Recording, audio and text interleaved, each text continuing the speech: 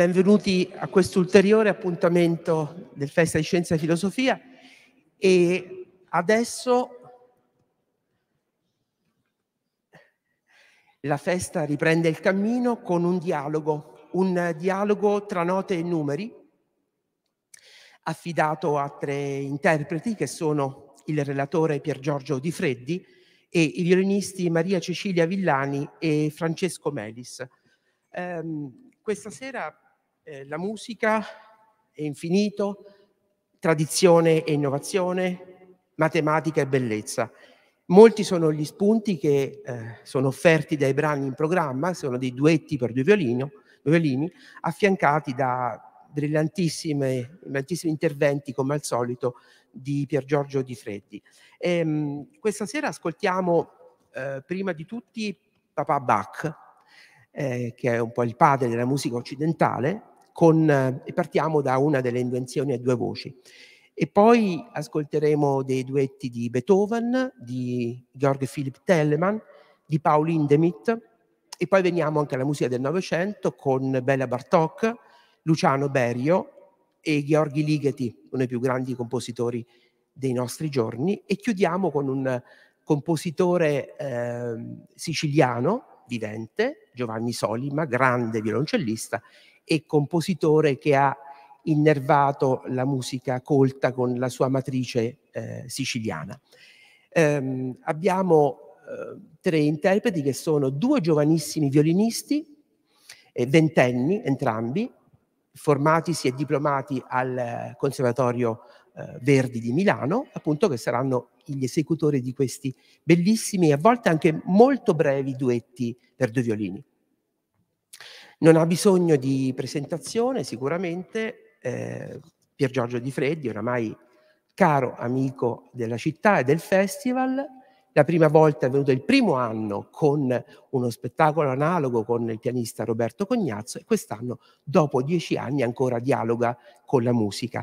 È matematico, logico, accademico, divulgatore scientifico, ma non vi voglio tediare con tutte le sue eh, tutti i suoi incarichi, tutti i suoi premi, perché li trovate dappertutto, ma voglio presentarlo con, e con questo finisco, con un brevissimo eh, una bellissima sua pagina, tratta dal matematico impenitente del 2008, in cui c'è il suo credo. E dice, credo in un solo Dio, la natura, madre onnipotente, generatrice del cielo e della terra, di tutte le cose visibili e invisibili. Credo in un solo Signore, l'uomo, plurigenito figlio della natura, nato dalla madre alla fine di tutti i secoli. Credo nello Spirito che è il Signore e dà coscienza della vita e procede dalla madre e dal figlio e con la madre il figlio è adorato e glorificato. E ha parlato per mezzo dei profeti dell'intelletto. Aspetto la dissoluzione della vita, ma non un'altra vita, in un mondo che non verrà. Per Giorgio Di Freddi, Melis e Villani per dialogo tra note e musica, numeri e musica. Buon ascolto.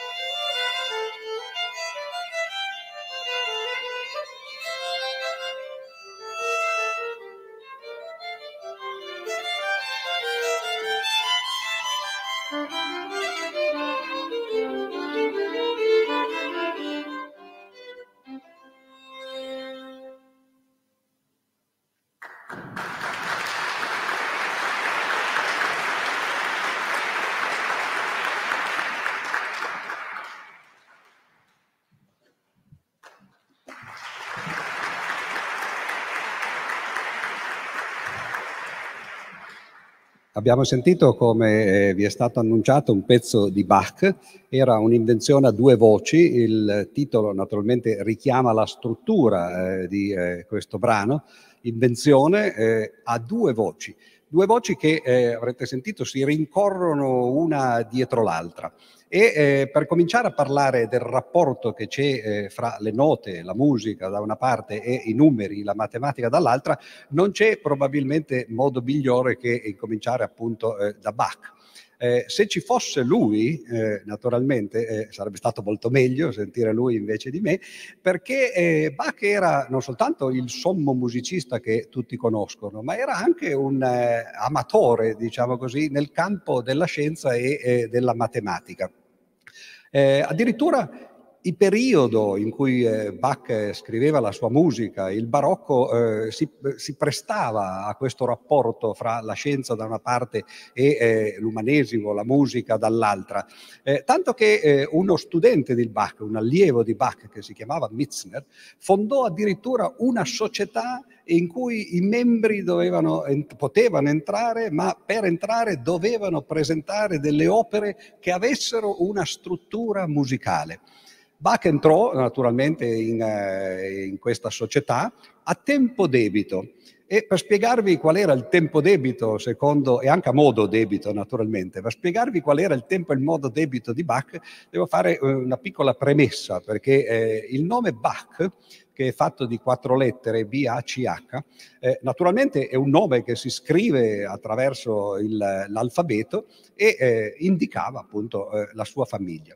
Però in Germania, ancora oggi, eh, nei paesi anglosassoni, eh, le note musicali non vengono indicate come si fa invece nei paesi latini col do, re, mi, fa, sol, la, si, do, bensì con le lettere dell'alfabeto A, B, C, D, eccetera. E, non parte tra l'altro il, la scala da, eh, nel, nello stesso modo, perché noi cominciamo per l'appunto con il Do, mentre invece nei paesi eh, di lingua tedesca, per esempio, si cominciava con la A che corrispondeva all'A. E eh, Ogni nota quindi eh, della scala musicale veniva indicata con una lettera dell'alfabeto in ordine. E Bach era fortunato perché eh, aveva delle lettere che stavano all'interno della scala, diciamo così. La B era la seconda, naturalmente la A era la prima, la C eh, la terza e la H l'ottava. E eh, tra l'altro se uno prende l'alfabeto e enumera le lettere dell'alfabeto, a ciascuna lettera si può associare un numero, ovviamente. Eh, eh il numero 1 alla A, il numero 2 alla B, il numero 3 alla C e così via. E allora Bach eh, capì che dentro c'era quasi un destino dentro il suo nome, c'era un pezzo di musica, un tema musicale, che erano le quattro note che corrispondevano appunto al suo nome, e c'era un numero, che era il suo numero portafortuna, che si poteva ottenere sommando 2, 1, 3 e 8, che fa, è inutile chiederlo naturalmente a un festival di scienza, c'è anche però la filosofia, quindi lo diciamo per i filosofi, no? che fa insieme 14. No? Poi Bach aveva anche un... Eh, ah, sento che eh, gli, agli scienziati prudono le dita, ma eh, siate gentili con, eh, con, l'altra parte, con l'altra faccia, diciamo così, della cultura che viene qui anche celebrata. E stasera vedremo che in realtà tutte e due queste facce si, si compenetrano. Ma Bach aveva anche un nome, no? eh, Johann Sebastian, e le due iniziali J eh, e S, anche loro corrispondevano a due lettere dell'alfabeto con i loro numeri, e se, so, se si sommavano le lettere di Bach, delle quattro lettere di Bach, più la J più la S, veniva 41. E questo per un musicista naturalmente era molto interessante perché 14 e 41 sono eh, simmetrici uno dell'altro e corrispondono a due eh, operazioni che si fanno normalmente quando eh, si sente la musica barocca.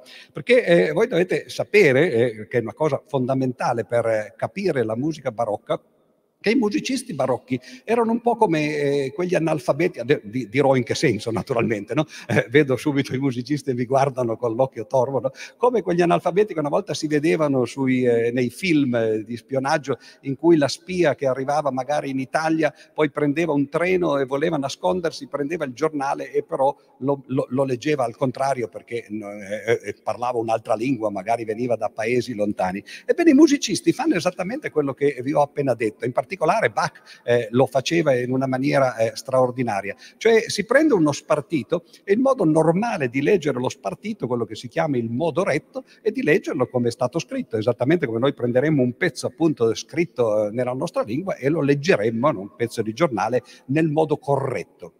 Però naturalmente quello che farebbe la spia, eh, nel caso che non conosca la lingua, è di leggerlo invece con lo spartito sottosopra, girato sottosopra. E questo naturalmente con le lettere dell'alfabeto è molto complicato da fare. Le lettere dell'alfabeto non sono simmetriche. Alcune sì, se uno gira una O, quella rimane una O. Se però uno gira una A, viene una V con un trattino, non si capisce più molto. Quindi per poter leggere un, uh, un testo scritto al contrario, tenendo la pagina uh, rivolta sottosopra, eh, bisognerebbe essere altro che analfabeti, l'esatto contrario, riuscire a leggere al contrario. Ma ci sono altri due modi che noi invece in genere non usiamo per leggere i giornali, che è di prendere lo spartito e di metterlo contro luce. E anche contro luce lo spartito si può leggere in due modi, diritto e rovescio. Questi quattro modi nella musica, nella musica barocca si chiamano modo retto, modo inverso, modo retrogrado e modo retrogrado inverso o inverso retrogrado, perché i matematici direbbero che le due operazioni sono commutative, si può fare una e poi l'altra, oppure l'altra e poi una e si arriva allo stesso risultato. La musica barocca è quasi tutta composta in questa maniera. Si prende un tema, per esempio il tema eh, sul, sulle quattro note che corrispondono al, al, nome di Bach, e poi però questo tema lo si può girare sottosopra, lo si può leggere al contrario, lo si può girare sottosopra e leggerlo al contrario e così via.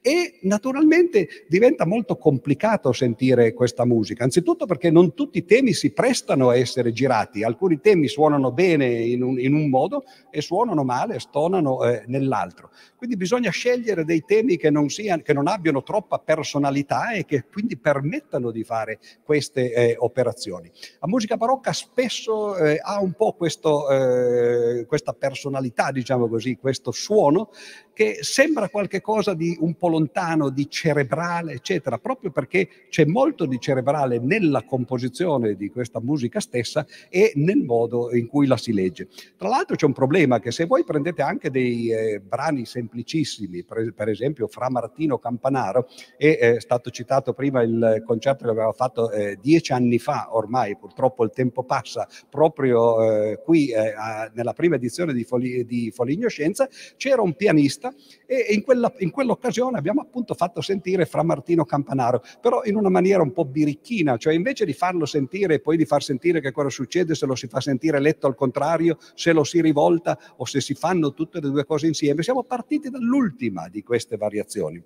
E poi siamo tornati indietro alle due intermedie e solo alla fine è stato svelato che il tema era fra Martino Campanaro e tutti si sono messi a ridere perché nessuno se n'era accorto.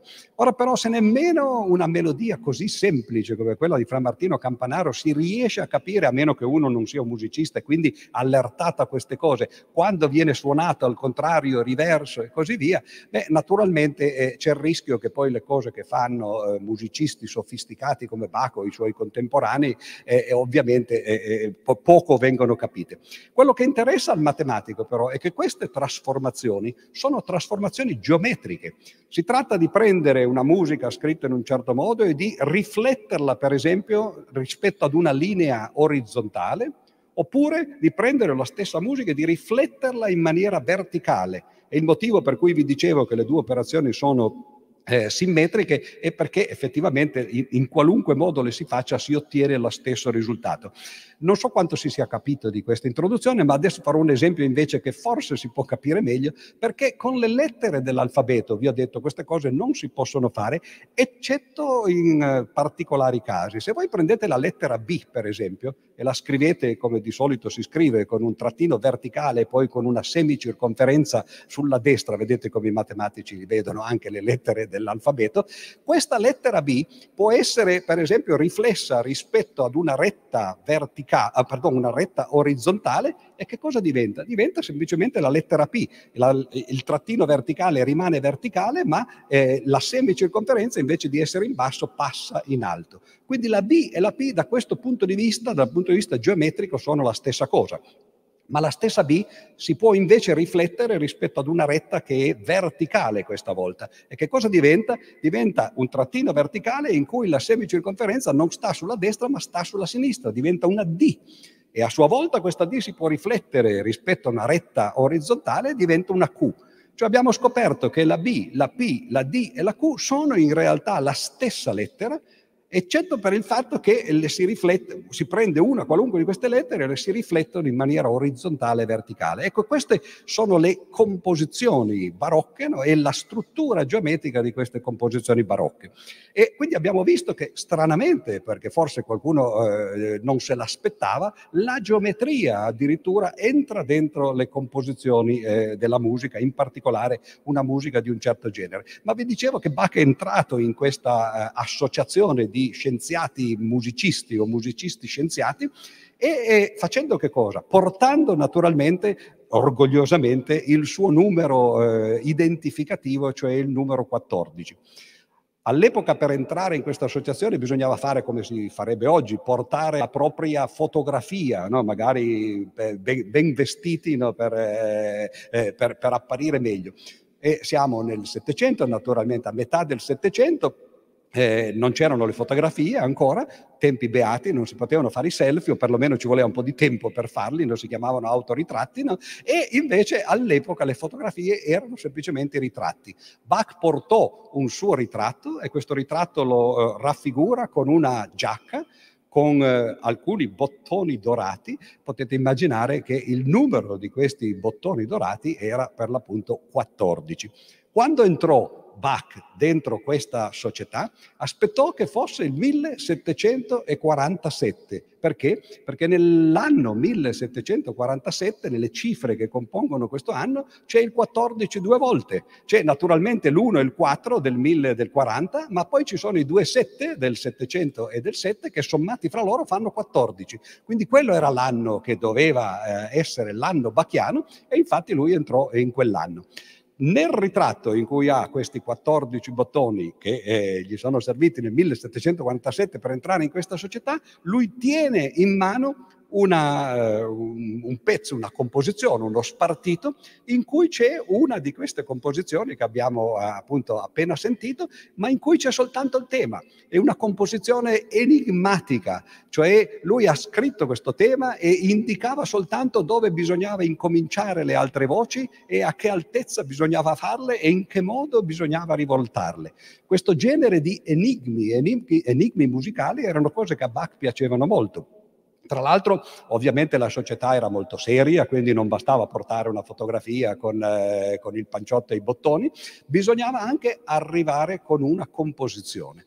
E ogni anno per rimanere dentro questa società, un po' come si fa oggi nelle università, che bisogna pubblicare, se non si pubblica poi si viene eh, licenziati, ogni anno bisognava contribuire una composizione dello stesso genere.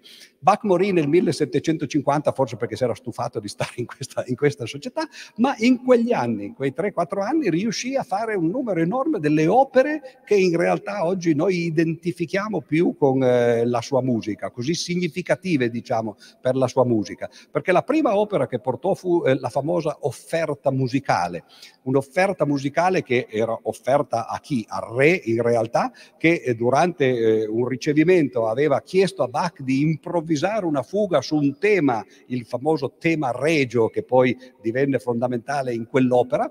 Bach disse, Maestà, il suo tema è troppo importante perché possa essere sviluppato così eh, all'impronta naturalmente significava che il tema non si prestava molto, diciamo così, no, alla composizione eh, barocca e lui disse eh, suonerò invece qualche cos'altro, ma poi è andato a casa, fece i compiti e questa offerta musicale è appunto una specie di summa di questi procedimenti ai quali ho eh, accennato, procedimenti di composizione.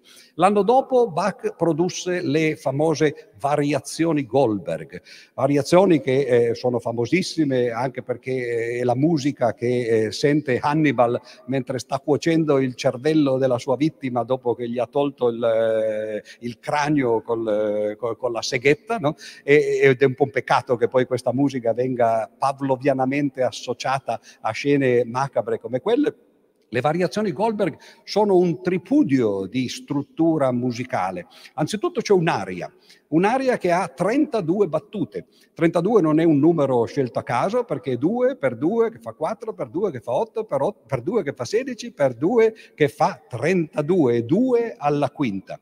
E naturalmente ci sono 30 variazioni più l'aria che viene suonata agli inizi e alla fine, quindi l'intera opera si compone di 32 pezzi e l'aria su cui si fanno queste variazioni si compone di 32 battute. Quindi vedete come c'è tutta una struttura musicale che regge effettivamente le opere di Bach, non solo questi pezzi, alcuni sono, sono, molto liberi, ma altri invece sono molto strettamente scritti. Ogni variazione che ha un numero multiplo di tre, cioè la terza, la sesta, la nona e così via, è un canone. Un canone, cioè una composizione simile a quella che eh, abbiamo sentito poco fa, in cui ci sono appunto delle voci che si rincorrono, ma queste voci che si rincorrono sono come due persone che stanno correndo una dietro l'altra. La prima infatti si chiamava in latino dux, colui che conduce, e l'altra gli correva dietro dietro, ma poi immaginatevi che qualcuno, che, che questi due signori corrano sulle scalinate di un campo da calcio, per esempio, di uno stadio. Possono naturalmente correre sulla, sulla stessa scalinata, allo stesso livello.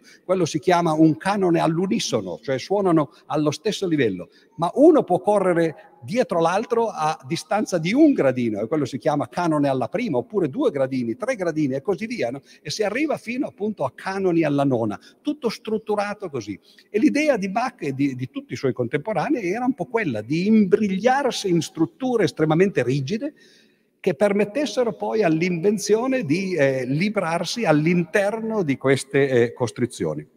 Voi direte, va bene, ma questa è musica vecchia, diciamo così, antica, ma non poi così tanto, perché è vero che dopo Bach e già i suoi figli ormai si erano stufati di, della musica del papà e incominciamo a scrivere come i pre-romantici, come, come, Mozart per esempio. Johann Christian Bach per esempio era un amico di Mozart e scriveva più o meno nello stesso modo in cui eh, scriveva Mozart. Poi venne Beethoven, vennero i romantici, eccetera, ma finita l'ubriacatura romantica dell'Ottocento, che cosa arriva alla fine del dell'Ottocento, agli inizi del Novecento, arriva la dodecafonia, una cosa lontanissima sia dal romanticismo che dalla musica barocca, eccetto per il fatto che poiché la dodecafonia è basata anch'essa su una struttura matematica, che è eh, come idea quella di dire ci sono 12 seminote nell'ottava e prima di ripetere una nota dobbiamo, ripetere tutte le, dobbiamo usare tutte le altre 11. Naturalmente, poiché le melodie si basano sulla ripetizione delle note, se noi evitiamo la ripetizione, le composizioni diventano molto complicate da fare. E qual è il trucco che usano i dodecafonici per scrivere la loro musica? Lo stesso trucco di, eh, dei barocchi, cioè di prendere questi pezzi e di le, girarli sottosopra, guardarli sotto, eh, contro luce e girarli appunto anche in quell'occasione in due modi. Quindi stranamente quello che unisce due modi così diversi di fare musica come il barocco e la dodecafonia è proprio la geometria e i modi di, eh, di riflessione degli spartiti che si usano. Ma credo che sia meglio non parlare troppo e lasciare invece suonare i nostri due giovani musicisti.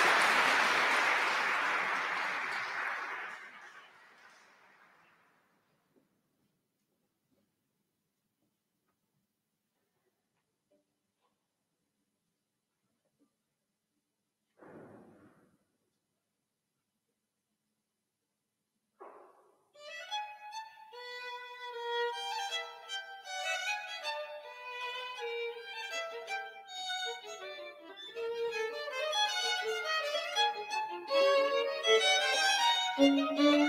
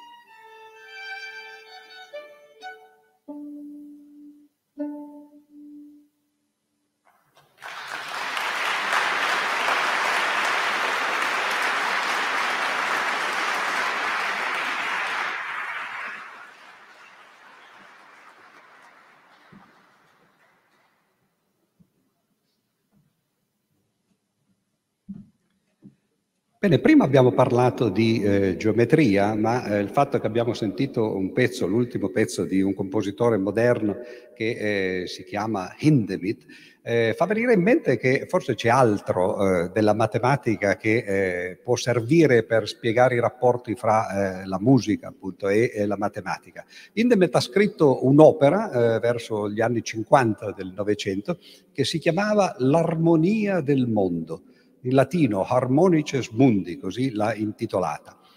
E eh, da dove arriva questa espressione, l'armonia del mondo? Perché il mondo, che è la natura, dovrebbe essere armonico, che invece è un termine musicale.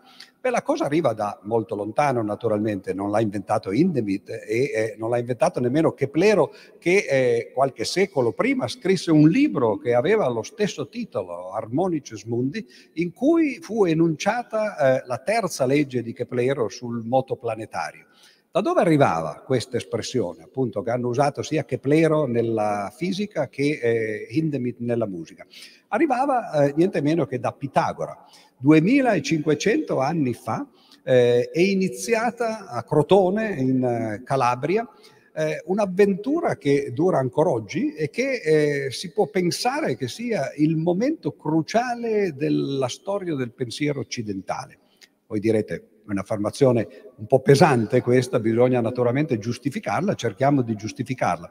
Che cosa fece Pitagora? Come, cosa scoprì? eh, che gli fece intuire qualche cosa dell'essenza eh, del, eh, del mondo, e da una parte e dell'arte, della musica dall'altra. Pitagora era un filosofo, naturalmente come voi sapete, che era nato in Grecia, a Samo, poi era scappato perché era un personaggetto, come si direbbe, no? aveva un certo carattere e in patria poi nessuno è profeta. Eh, arrivò eh, a Crotone e anche a Crotone eh, fece politica in maniera eh, piuttosto pesante, eh, si fecero guerre con le città vicine, con Sibari, eccetera, ma noi lo ricordiamo per quello che ci è rimasto perlomeno nel mito pitagorico legata appunto alla musica e alla matematica. È di lì che parte tutto. Già all'epoca la matematica e la musica si sono unite nel pensiero pitagorico. In che modo? Pitagora era, eh, per, per, usare termini astronomici, eh, appunto eh, quello che si potrebbe chiamare, come, come tutti i capiscuola, no?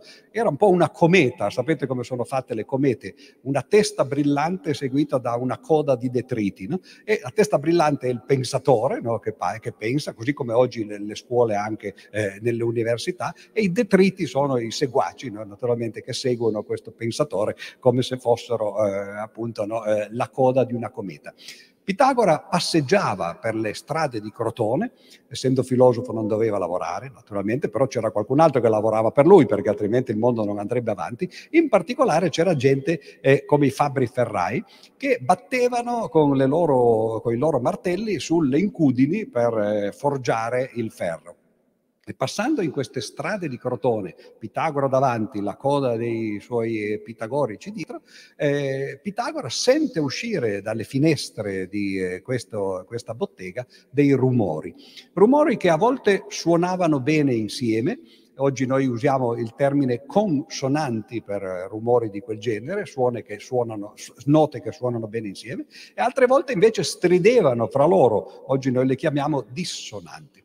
Pitagora, che oltre ad essere un filosofo, notare le cose, era anche uno scienziato, voleva capire perché, non soltanto che le cose ci sono, come diceva poi Aristotele in seguito, volle cercare di capire come mai alcune note suonavano bene insieme e altre invece suonavano male entrò dentro la bottega del Fabbro Ferraio e qui inizia la leggenda perché le cose non possono essere andate come ora ve le racconto, che è il modo in cui le racconta Giamblico nella sua famosa vita di Pitagora che è stata scritta otto secoli dopo. Sarebbe come se oggi noi scrivessimo la vita di qualcuno che è vissuto nel 1200 e, e, e credessimo di, di raccontare storia invece che raccontare invenzioni.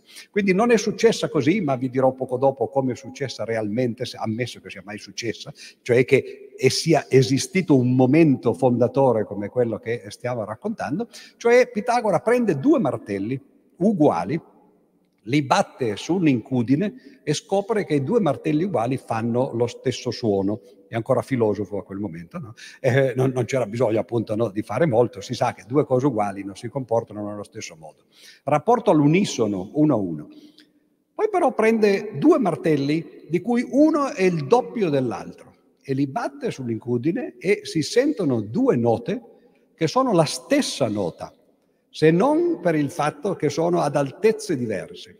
E di, l'orecchio, meglio, di un musicista sente che la, la, differenza fra le due note che vengono battute da due martelli, uno doppio dell'altro o metà dell'altro, a seconda di quale si guardi, è quello che si chiama in musica il rapporto di un'ottava. Pitagora dice questo interessante, due numeri come 2 1 in rapporto fra loro in realtà mi dicono qualche cosa sulla musica che viene suonata da questi eh, martelli. L'ottava. Poi prende due martelli che in realtà sono uno una volta e mezza dell'altro, quindi il rapporto è 3, 2, 3 su 2, 3 mezzi. Batte le, i due martelli, si sentono due note diverse questa volta, ma l'intervallo è ancora qualcosa che i musicisti riconoscono, è il cosiddetto intervallo di quinta, e allora la cosa diventa interessante, i numeri 3 e 2 rappresentano l'intervallo di quinta, l'intervallo di quinta è come Do, Sol, oppure Fa, eh, Do e eh, su, sulla scala, diciamo così, su un pianoforte, no? come lo, lo, vedremo oggi. Ultimo esperimento che Pitagora fa è prendere questa volta due martelli che sono in rapporto di 4 terzi. Perché 4 terzi? Perché i primi due erano in rapporto di 1 a 2, i, i, secondi due di 2 a 3 e questa volta sono in rapporto di 3 a 4 o 4 a 3 eh, nelle due direzioni. Di nuovo due note diverse, questa volta il rapporto è eh, di una quarta, quindi per esempio Sol, Do oppure Do, Fa. E a questo punto Pitagora dice, beh, una volta è, è, un caso, la seconda volta è una coincidenza, la terza volta è premeditazione, come si dice, ci deve essere qualcosa sotto.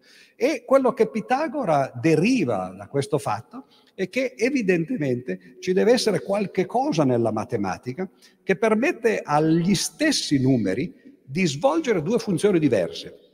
In un caso di misurare nel mondo fisico i rapporti che ci sono fra i pesi dei martelli Vi ho detto che questo è impossibile perché se voi fate l'esperimento andando a casa, non so quanti di voi abbiano martelli, forse, ma incudini difficilmente, no? non, non, sentireste le, eh, su, quello che ho appena detto perché l'acustica non funziona esattamente in questo modo, però invece probabilmente quello che Pitagora fece e fu di prendere dei, dei nervi di bue, come, che erano le corde degli strumenti a corda eh, di allora, eh, gli strumenti come quelli che sentiamo questa sera, i violini, i violoncelli, le viole, anche le chitarre, benché le chitarre funzionino in una maniera diversa perché eh, le, le, le, lo strumento è fatto in maniera diversa. Ma dicevo, la matematica serve, secondo Pitagora, per descrivere il mondo fisico, quello appunto dei martelli, delle incudini, delle corde di bue e così via. E dall'altra parte, invece, serve per descrivere il mondo umanistico, che è una cosa completamente diversa.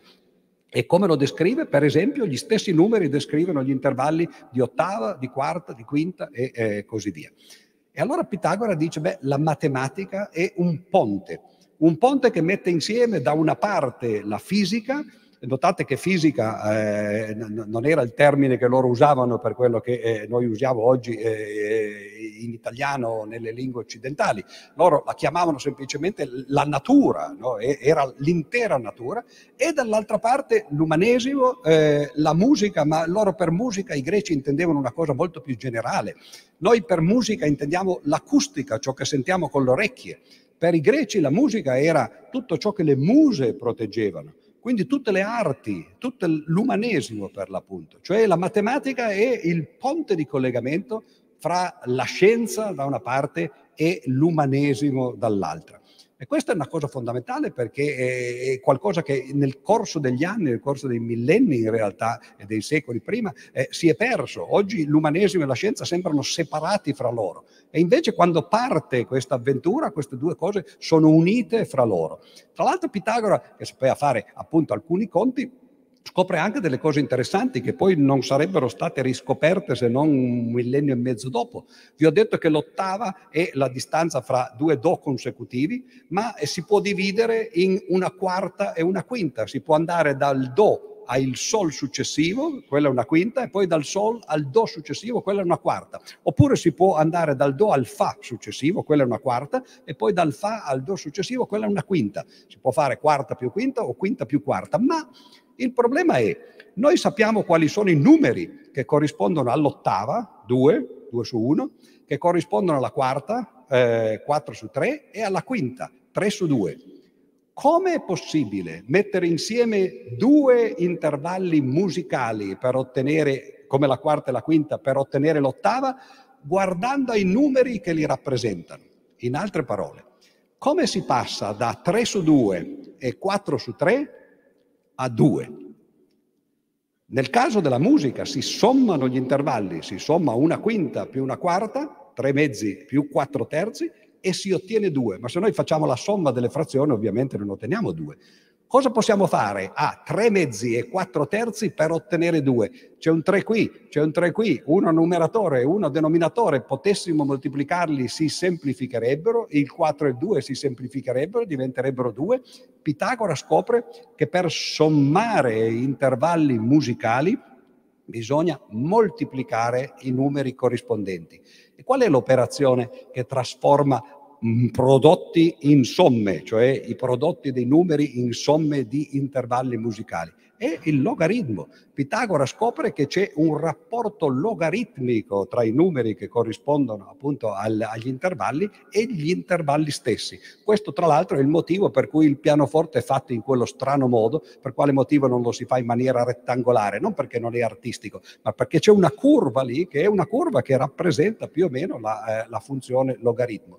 Questo è, una cosa abbastanza strana perché nessuno parlo, parlerà di logaritmi fino al 1500, cioè quindi eh, praticamente 2000 anni dopo Pitagora. Saranno Briggs, Napiero, eh, poi Newton che troverà addirittura la, la, la, il Mercatore che troveranno eh, l'espressione in serie dei logaritmi. Fino al 1600 in realtà i logaritmi non entrarono nella storia della matematica applicata, ma già Pitagora l'aveva in qualche modo divinati o eh, indovinati. Allora vedete che eh, eh, la matematica in questa concezione diventa qualcosa di fondamentale, appunto è il punto di collegamento, o meglio il ponte di collegamento fra la scienza, in particolare la fisica, da una parte e eh, l'umanesimo, in particolare la musica, dall'altra. Ma la scienza di cui parlavano gli antichi era soprattutto l'astronomia. E infatti gli antichi incominciano ad assegnare, associare dei rapporti musicali, delle note ai pianeti. Incominciano a pensare che i pianeti che girano attorno alla Terra, come si pensava all'epoca, ovviamente, anche se ieri vi ricordate, vi ho detto che qualche greco dopo Pitagora, qualche secolo dopo, comincerà a pensare che forse giravano attorno al Sole, ma comunque questi pianeti girano e quando girano fanno un movimento e producono dei suoni. Questi suoni sono quello che Pitagora chiamerà per l'appunto l'armonia del mondo. Uno si può chiedere perché noi non la sentiamo, come mai Pitagora diceva che c'era questa armonia. Pitagora scopre quello che in seguito poi nell'Ottocento addirittura verrà chiamata la legge di Fleckner, cioè il fatto che lui dice la musica del, del, del mondo, l'armonia dell'universo la si sente, la musica delle sfere come le chiamava lui, che erano le sfere che in realtà sulle quali giravano questi pianeti secondo il modello che poi verrà in seguito ovviamente più di, eh, di, di Aristotele e di altri. Ebbene, dicevo, questa musica si sente soltanto due volte nella storia dell'universo, agli inizi e alla fine. Perché non la si sente dopo? Perché, e parlavo appunto, accennava la legge di Fleckner, perché i nostri sensi dopo un po' si acquietano. Se voi sentite una nota che viene suonata continuamente, agli inizi la percepite e poi vi assuefate a questo, a questo suono e non lo sentite più e vi accorgete che quel suono veniva suonato senza che voi eh, lo sentiste soltanto quando viene smesso di essere suonato. Allora questo è il motivo per cui lo si sente agli inizi dell'universo e alla fine dell'universo, la grande eh, armonia del mondo. Tra l'altro queste cose poi sono arrivate eh, a noi perché Pitagora incomincia ad associare dei numeri, appunto abbiamo detto, alle note, tre mezzi viene associato, come abbiamo detto, alla, alla, quinta, cioè al Sol, quattro terzi alla quarta, cioè al Fa, il due viene associato al Do successivo, ma giocando con questi intervalli e in particolare usando la quinta, per esempio, se uno fa due quinte di seguito, va dal Do al, dal do al Sol e poi dal Sol a quello successivo che sarebbe il Re, la quinta successiva, due quinte insieme producono il Re soltanto che producono un Re un'ottava sopra. Come si fa a, fare, a sommare due quinte? Si moltiplicano i due numeri, tre mezzi per tre mezzi fa nove quarti, ma siamo saliti troppo, dobbiamo scendere di un'ottava, dividiamo per due, nove ottavi. Nove ottavi è il numero che Pitagora associa al tono, cioè all'intervallo di un unico tono tra il Do e il Re, e facendo giochi di questo genere con le quinte riesce ad associare numeri a tutte le note eh, della scala musicale. Alcuni di questi numeri sono carini, come quelli che avevo detto, ma altri invece sono tremendi, perché il Mi, ad esempio, che è la terza, diventa, facendo questi giochi di quinte, diventa 81 64esimi.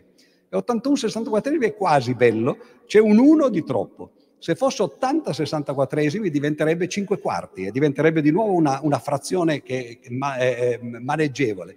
E questo però non lo si farà perché Pitagora eh, ovviamente quelli erano i numeri e li lasciava. La correzione di un 64esimo sarà quello che farà poi Zarlino nel 1500 e quello cambierà la storia della musica perché vorrà dire andare a cambiare gli intervalli pitagorici che sono quelli che si sentono con l'orecchio e soprattutto i musicisti come, come i violinisti o degli strumenti ad arco sentono così e farli diventare delle cose artificiali che sono poi quelli che si mettono sul pianoforte quando quando lo si accorda.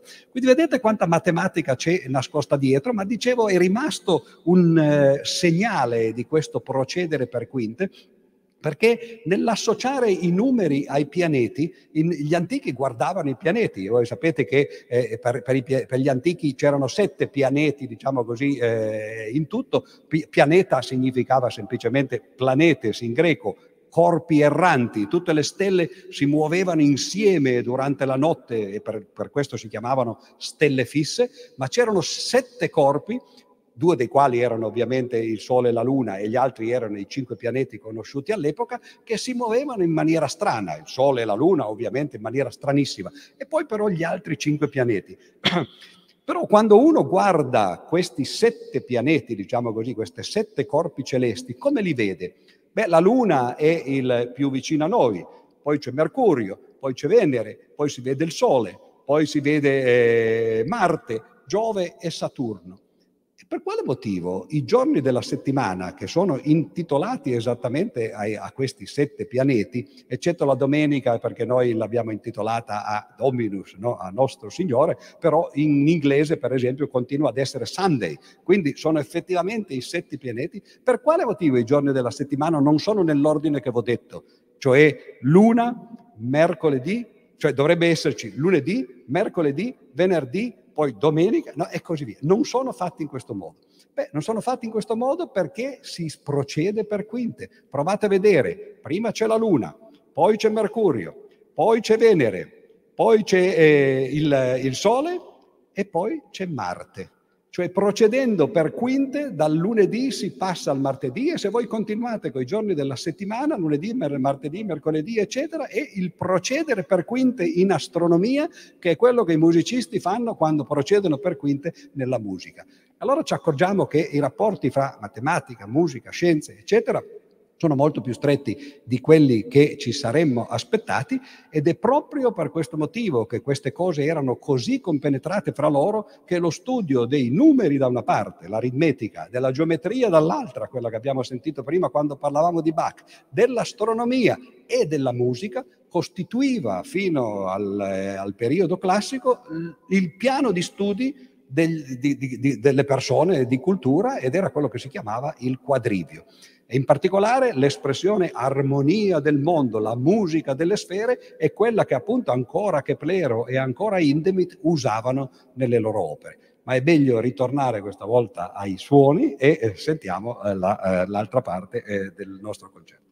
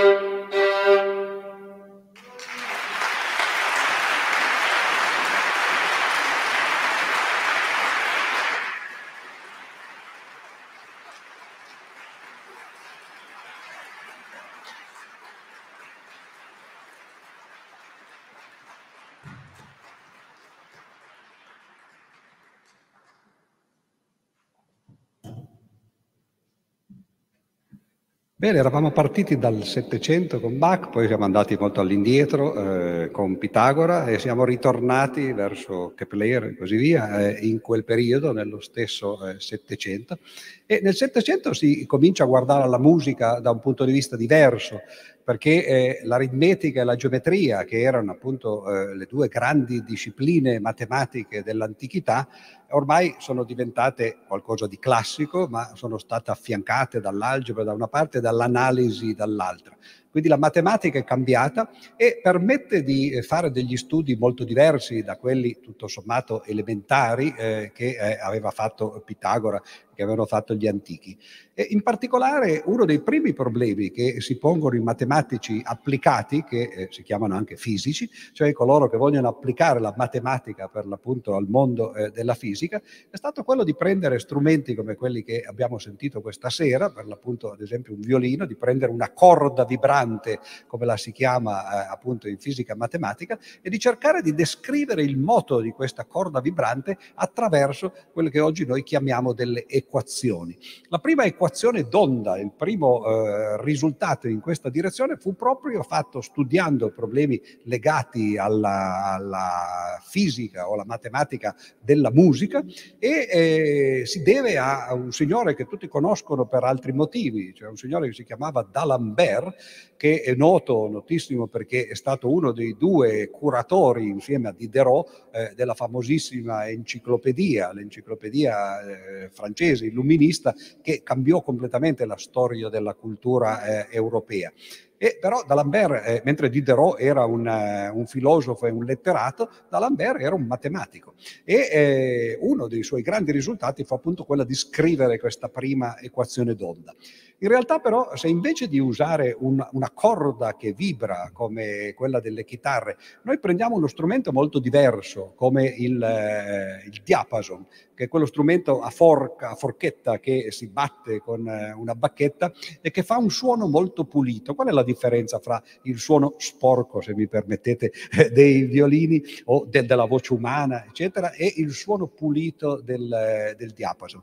Beh, dal punto di vista matematico, beh, lo si può dire in un certo senso molto semplicemente perché eh, la funzione che descrive il suono di un diapason è semplicemente una sinusoide.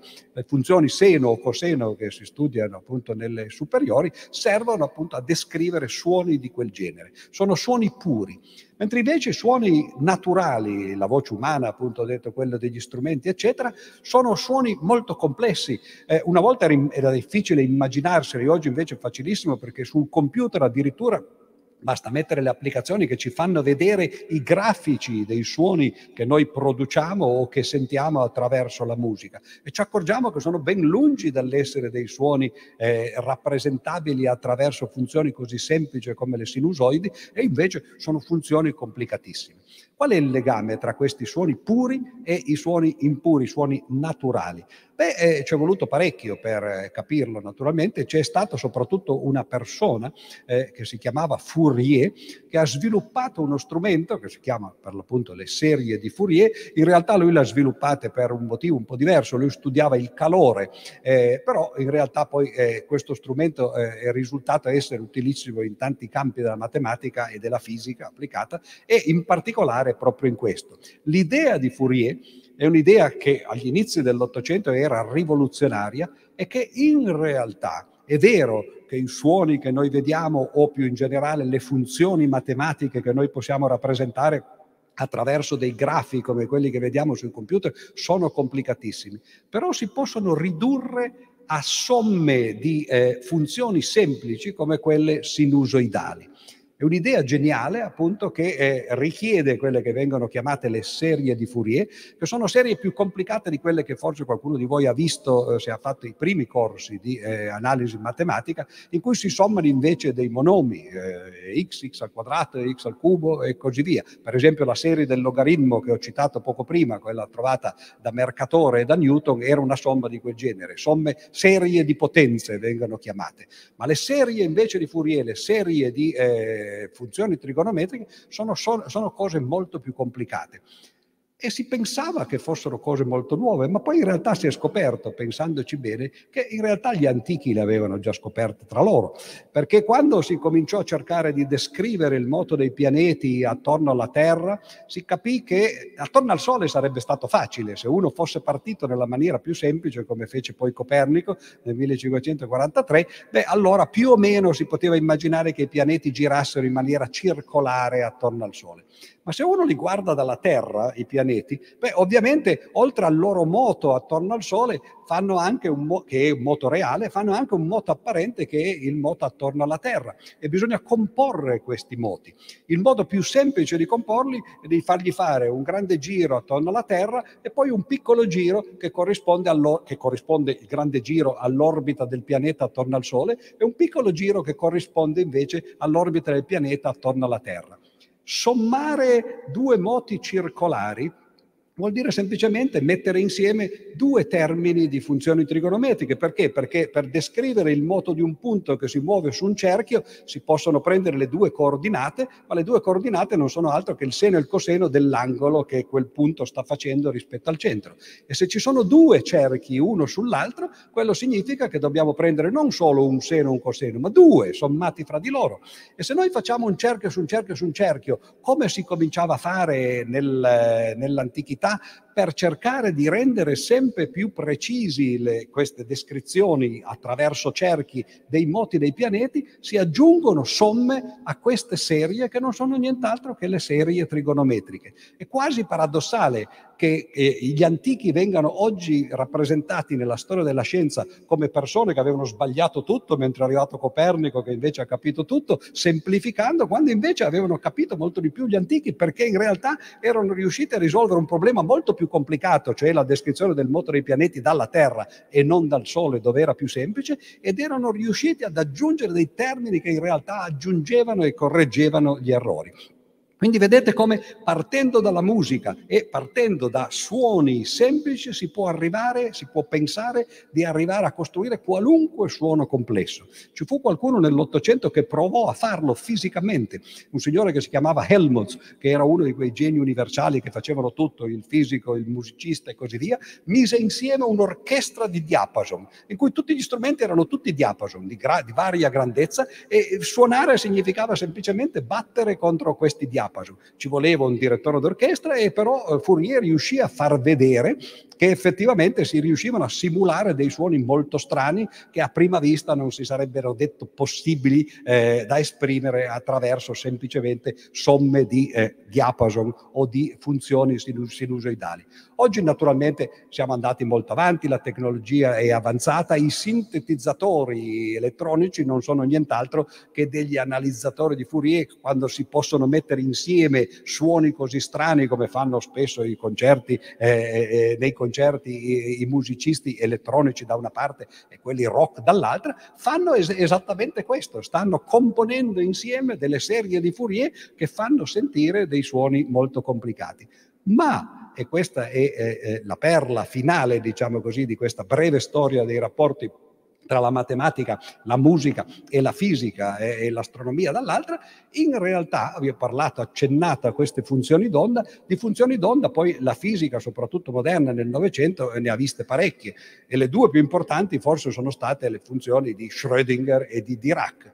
In quel caso la, il tentativo non era più di descrivere dei suoni, ma era di descrivere il moto di particelle, come l'elettrone per esempio, particelle elementari, e la cosa interessante è che le equazioni sono dello stesso tipo di quello di D'Alembert, sono appunto equazioni d'onda, solo che lì eh, non c'è più un'onda fisica che si trasmette attraverso una corda e che noi possiamo vedere con il nostro occhio, bensì c'è un'onda di probabilità. Chissà cosa significhi questo, bisogna chiederlo ai fisici, i quali però dicono di non aver ancora compreso esattamente quello che eh, questo significa, ma oggi si è andati ancora oltre perché si è praticamente tornati alla visione di Pitagora. Sono passati 2500 anni e nonno Pitagora è ancora lì che incombe, diciamo così, con la sua idea che tutto è numero da una parte ma tutto è musica dall'altra.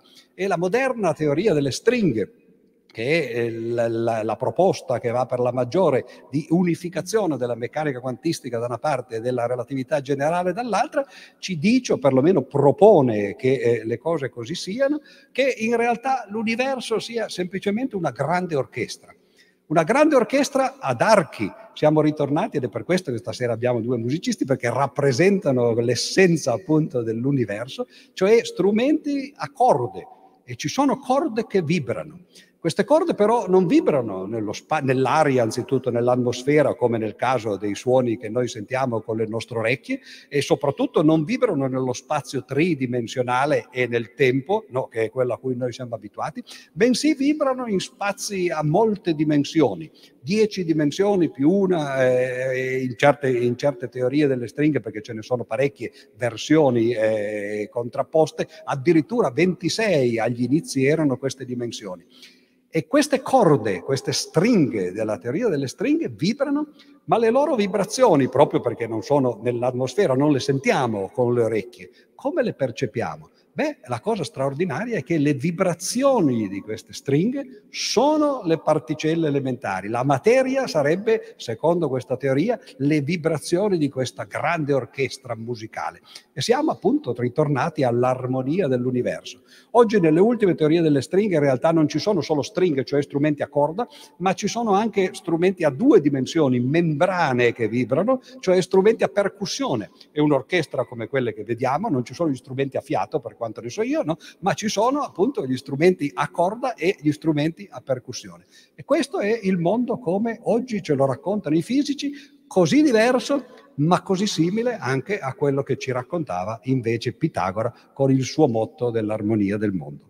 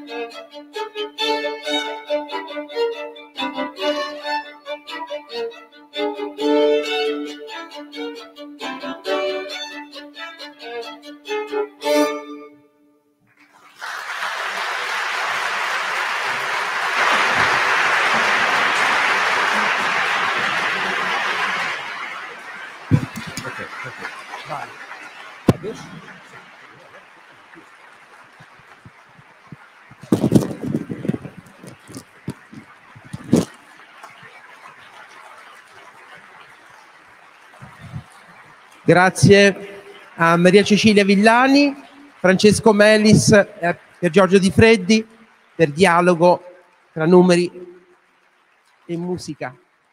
Grazie. Penso che c'è un brevissimo bis, piccolissimo.